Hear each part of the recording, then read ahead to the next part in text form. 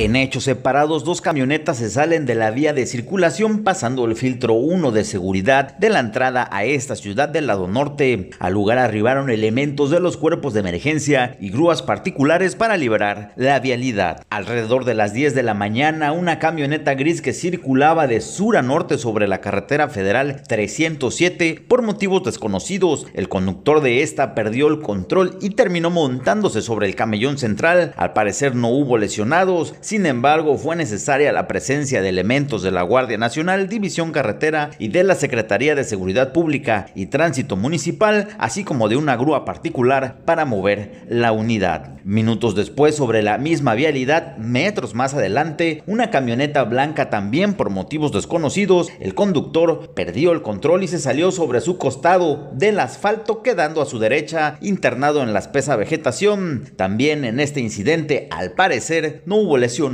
de gravedad. Con la edición de Pepe Mata para Notivisión, Edgar Olivares.